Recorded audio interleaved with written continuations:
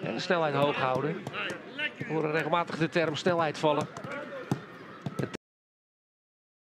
tempo moet er dus goed in zitten bij het overpassen. Klaassen weer. Ook die wedstrijden in de Nations League.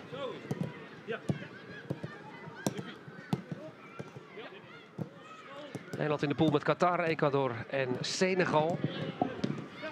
En op 21 november 2022 dan is het zover. In het Al Toumana stadion in Doha. Dan vindt de eerste wedstrijd plaats van het uh, wereldkampioenschap voetbal.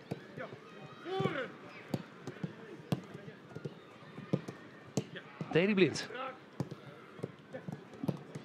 Sinds 2013 bij Oranje. Kampioen geworden met Ajax. En inmiddels uh, bemoeit ook de bondscoach zich actief met het spel van de spelers. Dat betekent dus dat de fase van warming-up erop zit. En nu gaat het om pasen, inspelen, pasen. En zo zien we hem graag. Louis van Gaal op het trainingsveld. Tussen zijn spelers.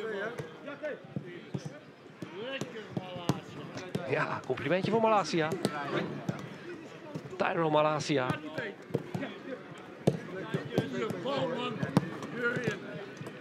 Green Timber.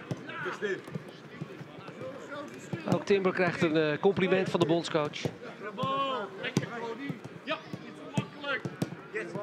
29 wedstrijden in de basis. Timber bij Ajax in het afgelopen seizoen.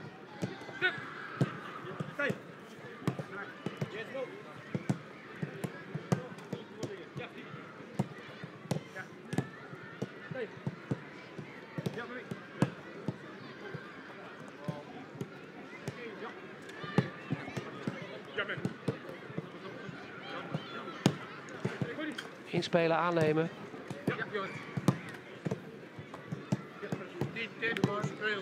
Berghuis. Acht doelpunten in zijn eerste seizoen bij Ajax. Scoorde twee keer voor Oranje in de WK-kwalificatie.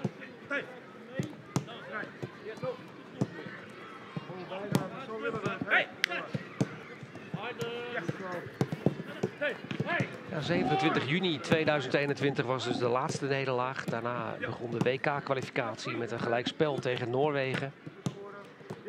Die hele WK-kwalificatie zat erop op 16 november. Toen er met 2-0 werd gewonnen van Noorwegen in eigen huis in Rotterdam. Sindsdien heeft uh, Oranje in 2022 een tweetal wedstrijden gespeeld. Vriendschappelijke wedstrijden waarbij Depay tegen Denemarken een penalty benutten. Dat was de vierde treffer. Ik zeg het niet goed, de derde treffer voor Nederland. Want Bergwijn scoorde twee keer in die wedstrijd uh, tegen de Denen. Die via Vestergaard en Eriksen een doelpunt maakte. In de Johan Cruijff Arena was dat.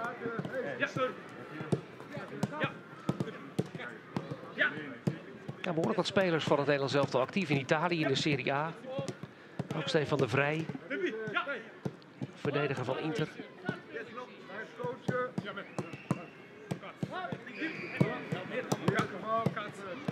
Tweede geworden in de Serie A. De oudspeler van Feyenoord en Lazio onder meer.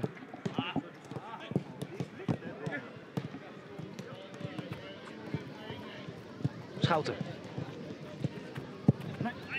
En benieuwd naar zijn ervaring. Wellicht uh, zal het hem uh, zo dadelijk gevraagd gaan worden. 25-jarige middenvelder van Bologna. Werd nog nooit eerder uitgenodigd bij Oranje door de bondscoach. Of door vorige bondscoaches. Maar nu is hij er dus bij. En ongetwijfeld zal het hem gevraagd worden na afloop. Van hoe het bevallen is op zo'n eerste dag bij de selectie van het Nederlands team. Getuige de glimlach uh, die we regelmatig zien, zal het wel goed zitten.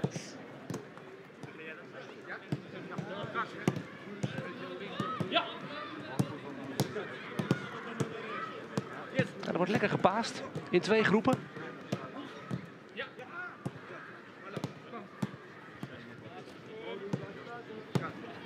Het inspelen, terugpassen en weer door. Mooie oefening. En zoals gezegd zijn er veel trainers die uh, meekijken.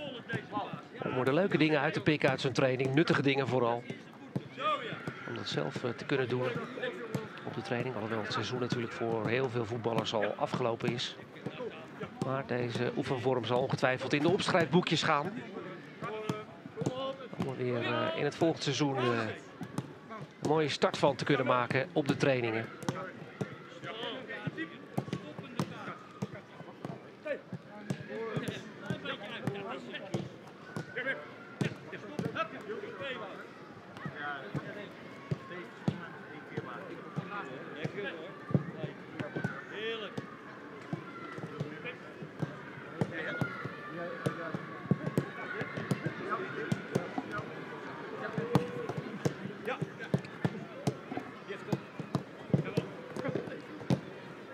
Ja, een intensieve periode dus.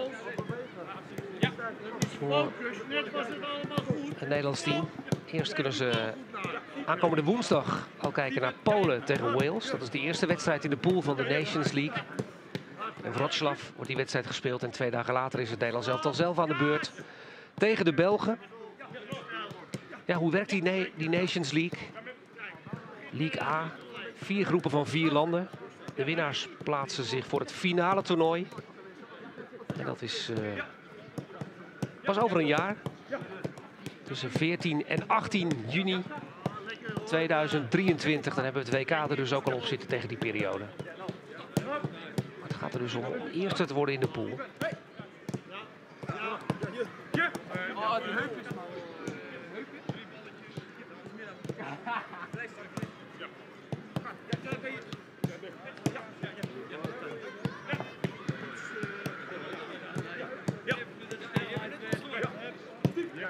snelheid hoog houden.